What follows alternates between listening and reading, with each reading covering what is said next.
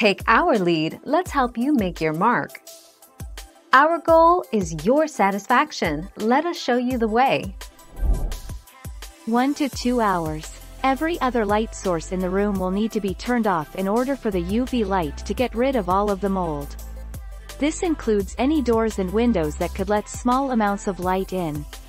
Leave the room for a period of 1 to 2 hours, after which the mold should be eliminated. 27 January 2020.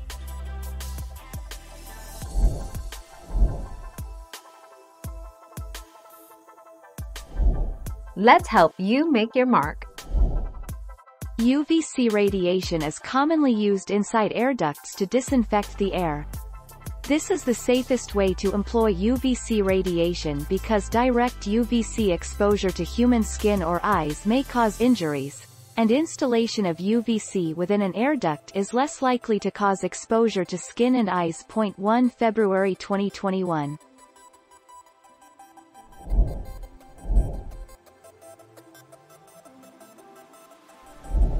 Make your mark, take our lead.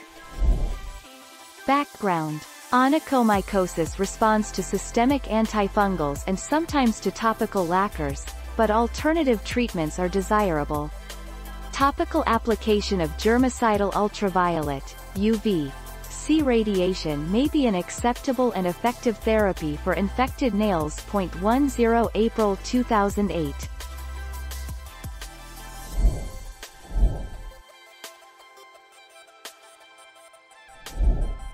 Take our lead.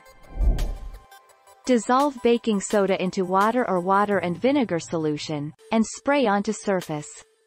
Let it sit, then scrub and wipe with a damp cloth. Baking soda is a natural disinfectant and very mild, so this solution will clean mold without leaving behind a scent. 1 December 2020 Thank you for watching. Please subscribe and hit the bell notification.